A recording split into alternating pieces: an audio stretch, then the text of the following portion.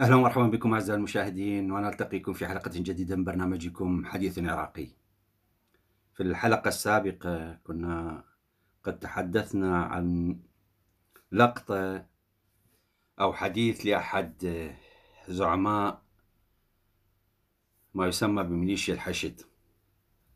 وكان يتحدث عن مفهوم الدولة، مفهوم الحشد، يعني مفهوم هذه الميليشيات للدولة. ومفهومها للعراق، وقال إنه يعني بالنص مثل ما تحدثنا في الحلقة السابقة قال من يسأل عن الدولة نحن الدولة ومن يريد الدولة عليه أن يسأل عن حشد نحن الدولة هكذا قالها بشيء أما رئيس وزراء وزارة ما أعرف منه وزارات اقتصاد تجارة إسكان أمن داخلية خارجية هذه كلها مجرد ديكور. هكذا المفهوم. إحنا الأساس. يعني هم من يقيمون كل شيء وهذا نفس المفهوم الذي يطبق في إيران الحرس الثوري الإيراني وهم يريدون أن يطبقوا نفس المفهوم في العراق. وهم من 2014 وحتى قبل 2014 يعني من عام 2003 هم هذا المشروع في ذهنهم وبدأوا تنفيذه فعليا على الأرض في عام 2014 ويستمر لحد الآن. عموما في هذه الحلقة نفس الشخص تحدث إلى مجموعة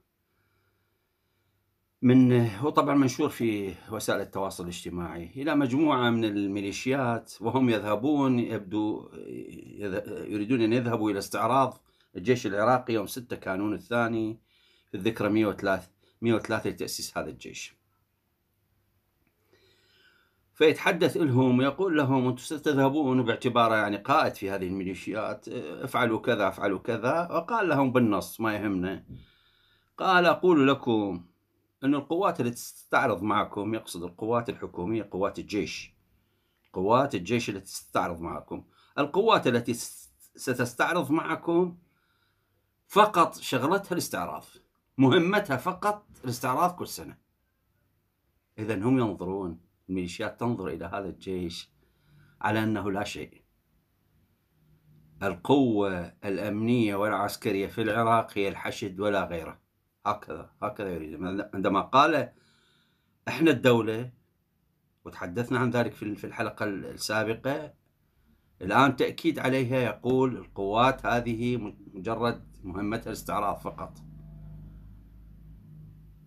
وهي وحتى يضيف حتى لا ينكر بعدين هو نكر يعني قال اني لا دوما أني أشيد بالقوى الأمنية وأني وكذا ونحن وإن حافظنا على الدولة ونحن نحن يعني أني مو ما ما أتكلم ابدا ودائما أرفع من قيمة القوى الأمنية. وهذا كلام يعني مو مقبول لأنه واضح اللي قاله لأنه أكد عليه بجملة أخيرة قال وهو يحدث هؤلاء المجموعه من الميليشيات هذه التي تستعرض قال هؤلاء مهمتهم فقط أو شغلتهم فقط الاستعراض. أما أنتم فتفعلون كل شيء وأنتم تشتغلون كل شيء في هذا البلد. اذا واضحه هؤلاء مجرد ديكور وأنتم الأساس. أنتم اللي تشتغلون كل شيء. يعني بيدكم الأمن بيدكم العسكرية بيدكم كل شيء أنتم. أنتم بيدكم كل شيء وهؤلاء اذا هذه الميليشيات ليست جزءا من القوات الأمنية وليست بإمرة القائد العام للقوات المسلحة هي القوات الأمنية وهي القائد العام للقوات المسلحة وهي رئيس الوزراء وهي الوزراء وهي الدولة. هكذا يقولون. وهو ربما اعتذر لأنه صار لغط وصار حديث ربما قالوا له يعني مو وقتها أنت حديثك إحنا نعرف هذا توجهنا وهذه وهذه بس انت استعجلت ربما وتحدثت في هذا الموضوع أو ماكو داعي تحدث. عمليا هو هذا الموجود ماكو داعي نثير. لأنه وزير الدفاع قالوا إنه يعني رفع قضية في المحاكم ضد ضد هذا هذا الشخص لأنه يسخر من الجيش ويقول ان مهمته فقط الاستعراض. ف وداولوا الكثيرين هذا هذا الحديث لذلك يعني أرادوا ان فهو خرج مرة أخرى وقال اني ما أقصد القوى الأمنية أنا دائما أمدح بها وهي كذا ونحن جزء منها وهي كذا كلام غير مقبول. فعندما تدعي تنظيمات ميليشياوية ميليشيات وعصابات إنها من الدولة وهي في كل نشاطاتها وكل أهدافها تريد أن تنال من الدولة وتسقط الهوية الجامعة للدولة وترفع هويتها الأساسية الفرعية وتقول هي الهوية الوحيدة التي يجب أن تتمسك بها وإذا كانت من هناك من هوية جامعة فهي هوية هذه الميليشيات وليس هوية العراق. نحن العراق ونحن الدولة هكذا يقولون. عندما تكون هناك تنظيمات مثل هذه ميليشيات وعصابات تحدث بهذا الشكل. والدولة ساكتة الحكومة ساكتة. ويعني وربما تعطي ومو ربما واقع الحال تعطي وتقدم المسوغات ولا أعذار عنها. فإن الصورة عند ذلك في العراق كالآتي إن العراق بلا دولة. ومن يتحدث عن دولة في العراق هو واهم ليس هناك دولة في العراق. لأنه ماكو بلد بالدنيا. تحكم رؤوس عديدة. واضعف أضعف رأس فيها هي رأس الحكومة. لأنها تابعة لقوى أخرى هي المتحكمة فيها. وهي من تطرق على رأسها وعلى الحكومة أن تستجيب لكل هذه الرؤوس. هذا ما يحصل في العراق.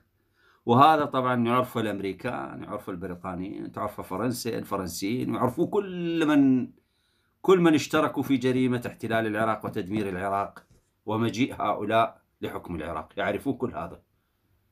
يعرفون أن لا دولة في العراق السفير الأمريكية تعرف والأمم المتحدة بالإسخار تعرف والسفير البريطاني يعرف والسفير الفرنسي يعرف وكل سفراء الاتحاد الأوروبي كلهم يعرفون. وحتى السفراء العرب والحكومات العربية يعرفون هذه الحقيقة أنه في العراق أكثر من رأس. أنت حتى حتى تؤسس مشروع أنت ما تذهب للحكومة. إذا ذهبت للحكومة قد يفشلوا لك إياه.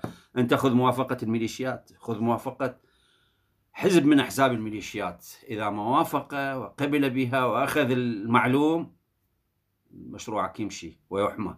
أما إذا ذهبت للحكومة وهؤلاء لا يعرفون سيفشل هذا المشروع. وهذا ما حصل كثيرا. آلاف المشاريع وراحت فلوسهم. الصورة إذا واضحة جدا. العراق بلا دولة.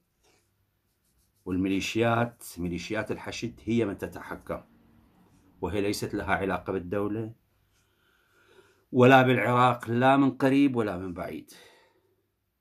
هي تأخذ أوامرها من إيران وهي ذراع إيراني وتتبع إيران والتوجيهات الإيرانية والسياسة الإيرانية وتوجهاتها وأهدافها هي من من تخدمها أما حديث آخر عن وطنية وما أعرف منه عن تريات هذه غير مقبولة. واقع الحال يكذب هذا. هذا ليس يعني ليس ادعاء. هذا واقع حال. من يريد أن يتأكد منه واضحة أمام الصورة. لكن من ينكر عليه أن يستطيع أن يقدم أدلة لإنكار هذا الموضوع. هذا واضح جدا. هذه التصرفات واضحة جدا. والأقوال واضحة جدا. والتوجهات واضحة جدا. والانتماءات واضحة جدا. فبالتالي هذا هو العراق. هل فيه دولة؟ ومن يحكم العراق؟ يعني هل العراق اللي يقررون؟ هل يقبلون باستمرار هذا الوضع بهذا الشكل؟ هل يقبلون بأن نكون ضيعة تابعة لإيران والميليشيات تتحكم بنا بهذا الشكل تتحكم بهذا البلد العظيم بتاريخه بكل تراثه طول عمره. تاريخ الطويل. نعم احتلتنا احتلونا الفرس. الصفويين احتلونا أكثر من مرة ربما. لكن احتلال بجيش ودخلوا لكن لكن بقينا نقاوم بقى العراق يقاوم وتخلص من عندهم ورجع إلى إلى مسيرته. أما أن يتغولوا ويسيطروا على كل شيء ويحكموا باسم العراق والوطنية هذه هذه كذبة كبيرة. هذه لم تحدث وعلى الشعب العراقي أن يتخذ قراره في هذا الموضوع. وقت هذه الحلقة قد انتهى. أعزائي المشاهدين نترككم بخير وألتقيكم في حلقة أخرى. لذلك الحين أستودعكم الله والسلام عليكم.